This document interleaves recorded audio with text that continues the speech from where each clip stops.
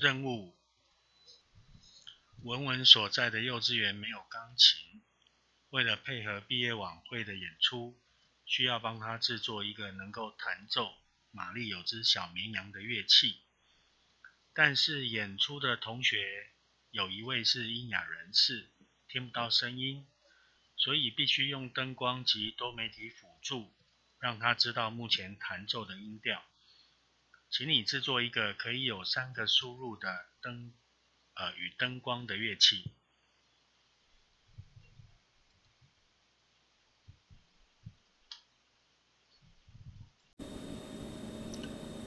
玛丽有只小绵羊的系统拆解。好，首先我们来看这个玛丽有只小绵羊的系统。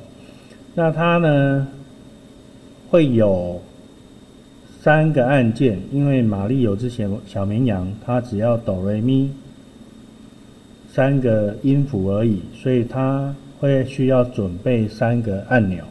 所以我们在硬体这边呢，会有三组硬体。那这三组硬体除了按钮之外，刚刚有提到，呃，有音哑人士，所以需要灯光。那灯光的部分，所以每一组按钮要配一组灯光，哈，所以三组按钮会有三组的 LED 跟三组的灯光。啊，三组的按钮跟三组的 LED。好，那在软体的部分呢？啊，首先我们会需要按按钮的时候可以发出声音。啊，所以三个按钮分别发出三个不同的音调。然后在画面的部分，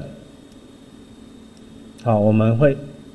呃，主画面会需要一个五线谱，然后呢，在按按钮的时候也要出现那个不同高度的音符。好，接下来是扩充的功能哈，呃，基本基本的功能其实上面这个地方就可以达到了，好，就是前面刚刚介绍这两个部分就可以达到。那如果你需要扩充功能的话呢，我们这边可以多一个记录。弹奏的音符，也就是说，你可以把你弹奏的歌曲记录下来，啊，记录简谱记录下来。然后呢，既然有记录的功能，那应该就会有清除的功能。那既然有记录音符的功能，那我们也可以让它自动弹奏，然后再就是其他媒体的画面的部分。好，这是。玛丽有只小绵羊的系统拆解，好，那我们在做解题的时候呢，如果你把系统拆小一点，会有助于我们在解决这个题目。好，每一次都解一个小的系统，那解完所有的小系统之后，你整个大系统架构就做好了。准备材料，首先是你的 Arduino 主板。接下来呢，你的感测器扩充板，然后三个 LED，三个单色的 LED，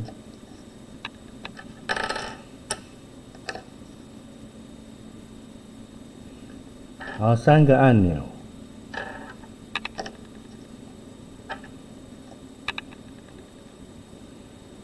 当然不要忘记你的 USB，还有我们有六个感测器，所以我们会需要六条杜邦排线。那每一个感测器都是三 pin 的，所以我们会需要三 pin 的杜邦排线，一共六条。啊，所以我们尽量挑同样颜色的。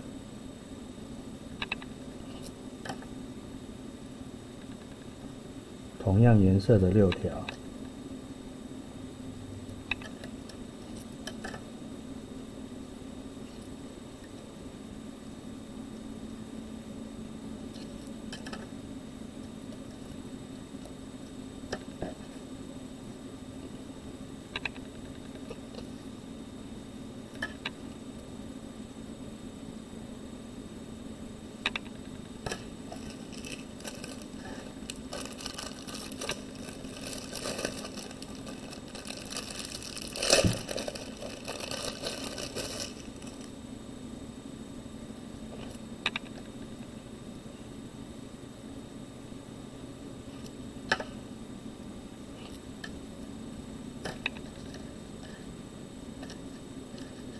所以这边六条多邦线。